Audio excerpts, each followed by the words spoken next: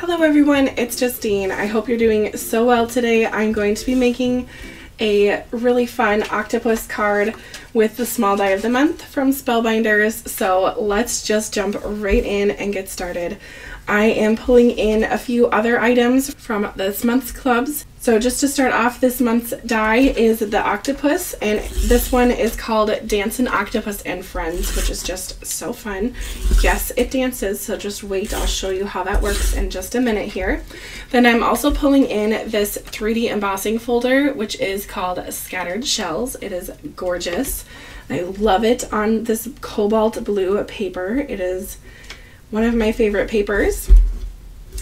And I also pulled in the stamp set for my little sign that the octopus is going to hold. And let's see, I think that's that is all. So three different clubs in one card.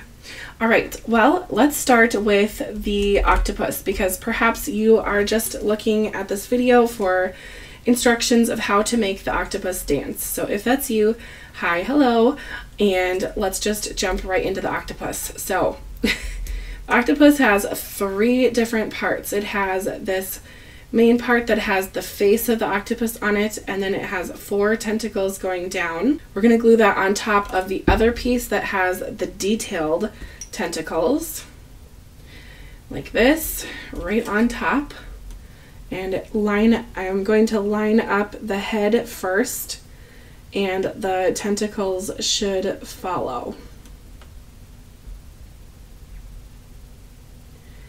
Just kind of flip it over and then just lightly press down on each one so it is nice and straight. And this really just gives a dimension with colors. So, I mean, you could do the same color for this part, but I liked I, I liked the way it looked having two different colors and having it have the dark yellow, light yellow, especially with the little spots on its head. So this is the main piece that is the octopus and then we have the little legs. Now this is the part that's going to dance. So I am going to just take my tallest seaweed, it's going to be probably about that tall, and then just position my octopus. It's going to go right about here so I want my legs to go right about there.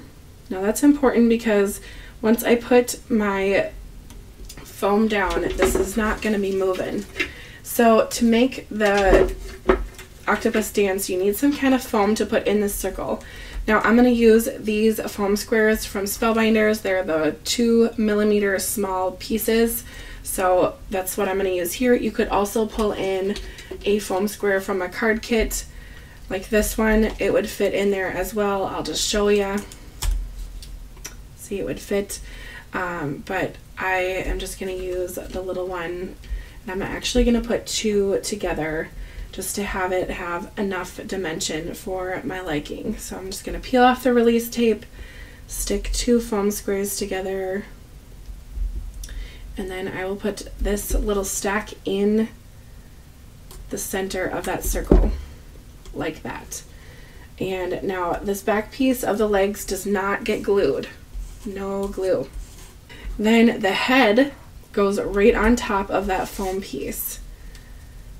Right like this. I'm actually going to put it lower so the head lines up with where the other tentacles are going to come out of. And I'm actually going to also put some foam under behind the head so it doesn't sag down. And again, I'm going to layer two foams on there so it has a lot of dimension. This little guy is supposed to be alive and dancing, so let's make him stand out.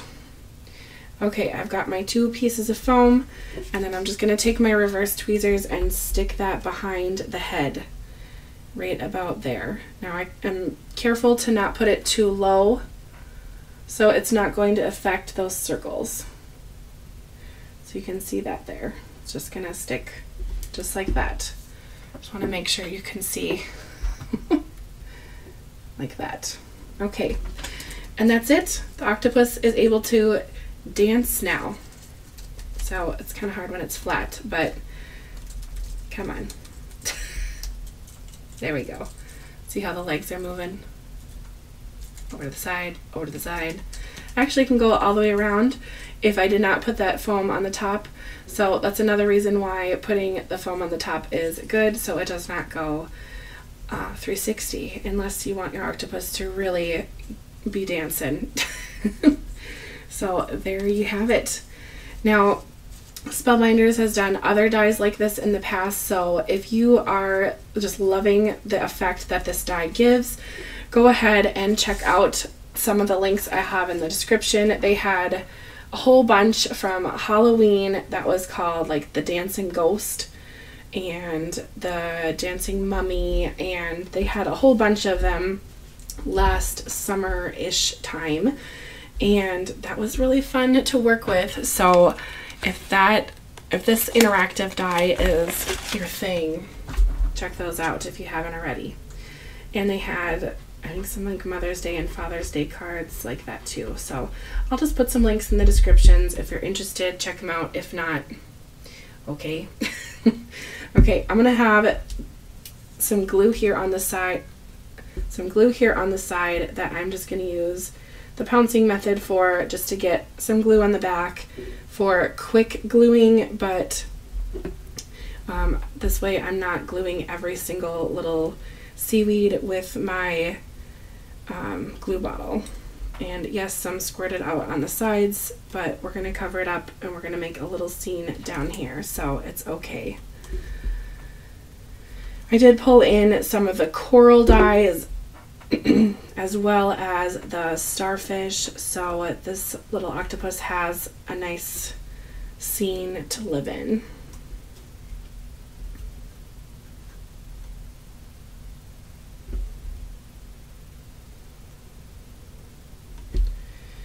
I'm basically going to be repeating this process over and over, just pouncing the piece on the glue and adding it on. So I am going to speed up this section of the video and just show you the end and just show you what it looks like after I am all done gluing these little pieces. Then I will glue on, then I will figure out how I am going to be putting the sign on the octopus. Gluing on all those little pieces is definitely one of those trust the process moments where it just looks a little funky and then as I kept going it started looking a little better. So just bear with yourself if you are like me with the placement of it all. Or you could plan it ahead, which is totally doable as well, but I did not do that. Okay, I want the octopus to be holding the sign. I think I want it to be kind of in both of his tentacles on the top here. I think I'm going to just stick it kind of like that. Right about there. Yes, that's what I like. Okay. just to give you a little update on life, I don't know what I'm going to be doing the day that this video is released. I currently have been called to serve jury duty. So I I could have some time here on YouTube where I don't have videos. I hope that that's not a thing. I will do my best if I get stuck on a trial or something. I have no idea what to expect. Never been called, but I have been told that I need to be available. So maybe they'll just tell me that they don't need me. I, I don't know. But if they need me, I'd like to serve on a jury because I think that is um, good to be doing um, a civic duty, if you will, and be part of jury duty. So that's wonderful. Now I'm going to pull out some of these little pearlies because I think that that would be kind of neat to have a pearl or two on the card. I don't know what size would really make sense though. I think that's a little too big. If you've watched some of my videos recently, you know how I feel about how these are all mixed up if you did not watch that video, um, spoiler alert, I am not amused that these are all mixed up, but that is life, and I don't know. I think it's kind of a bad design of this gem, the, the holder, but it's also kind of my fault because I bumped it and it just spilled everywhere. So, partially my fault, but also rough design, in my opinion. I mean, really, the top part is like going really low, and mm, anyway, stop complaining. Anyway, everything's fine. We're fine. We're putting gems on. It's great. Okay. but a little embellishment is always fun on cards anyway. So, yes, since they're all mixed, I am putting them back in mixed as well. And no, I am not taking the time to sort that because I don't know, maybe you have time to do that. I certainly do not. But anyway, here's my little dancing octopus. I'll just kind of give him a shake sideways so you can see his legs move around and he's dancing. It's kind of fun. I will resist the urge to put googly eyes on his eyes, although I really want to.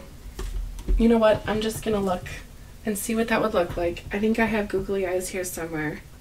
Okay, here are some bigger ones, but these are far too big. So I'm going to grab some. I have some in my backpack downstairs that I bought recently that I need to bring to my classroom. Um, as a kindergarten teacher, googly eyes are a staple. So I'm going to go grab those real quick and then we'll see what they look like. Um, if I like it on a card, on the card, I will put them on. If I think it looks dumb, they're not going on, but let's just check.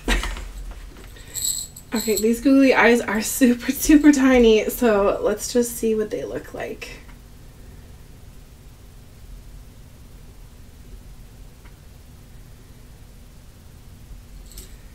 Okay, I love it. I'm doing it. I just feel like it needs a little something, you know? He's already got silly legs, so let's give him fun eyes.